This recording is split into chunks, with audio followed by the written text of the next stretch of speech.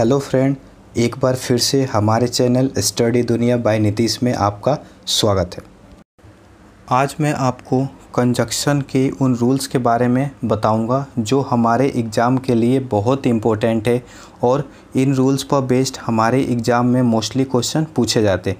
इसलिए इस वीडियो को आप एंड तक ध्यान से देखें और इन रूल्स को आप याद कर ले या फिर लिख ले, क्योंकि ये रूल्स कॉमन एरर में मोस्टली पूछे जाते हैं। अब बात करते हैं रूल नंबर फ़र्स्ट की।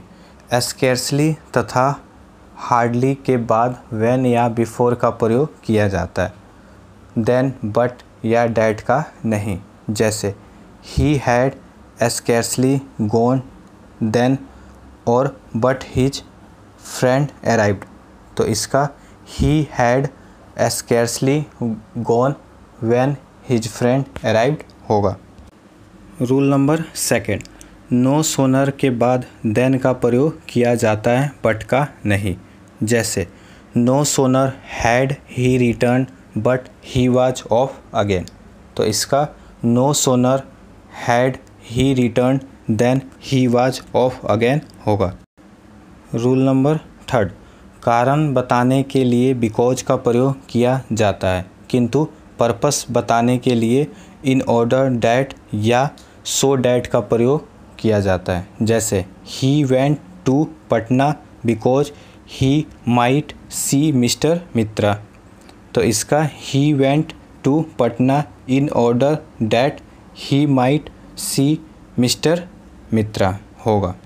Rule number four regard describe represent portray depict mention, define, treat के बाद एज का प्रयोग किया जाता है। किंतु name, dub, call, appoint, elect, make, choose, think, consider के बाद एज या बी का प्रयोग नहीं किया जाता है। जैसे he called me as a fool तो इसका he called me a fool होगा। He was appointed as a clerk. तो इसका ही वाज अपॉइंटेड कलर होगा। रूल नंबर फाइव एक ही वाक्य में बिकॉज़ तथा देयर फोर का प्रयोग नहीं किया जाता है। जैसे because he is rude therefore he is punished तो इसका because he is rude he is punished होगा। रूल नंबर सिक्स एक ही वाक्य में सपोज़ के बाद इफ़ का प्रयोग नहीं किया जाता है। जैसे, supposing if she fails what will she do तो इसका suppose she fails what will she do होगा। रूल नंबर सेवन अनटिल से पॉइंट ऑफ़ टाइम का बोध होता है एज लॉन्ग एज या फिर सो लॉन्ग एज से पीरियड ऑफ़ टाइम का बोध होता है। जैसे until you work hard you will improve तो इसका so long as you work hard you will improve होगा। Until it rains I won't go तो इसका as long as it rains I won't go होगा। Rule number eight as when if के साथ सो या then नहीं लगाया जाता है। जैसे if you don't labour then you can't pass तो इसका if you don't labour you can't pass होगा। As he entered the room then he met me तो इसका as he entered the room he met me होगा। Rule number nine direct narration में that conjunction का प्रयोग नहीं किया जाता है। साथ ही इनडायरेक्ट नरेशन में भी how what which, whom, why, where, whether, who, whose, when के पहले डैट नहीं लगता है। डैट का प्रयोग में यह ध्यान रखें। डैट का प्रयोग प्रायः होता है एग्री, लर्न, मेंटेन सजेस्ट के बाद। और डैट का प्रयोग प्रायः नहीं होता है बिलीव सपोज़ थिंग के बाद। जैसे he asked me that how much it cost तो इसका he asked me how much it cost होगा। रूल नंबर टेन नाइदर के साथ नॉर और आइदर के साथ और का प्रयोग किया जाता है। जैसे I have neither written to her or spoken to her तो इसका I have neither written to her nor spoken to her होगा।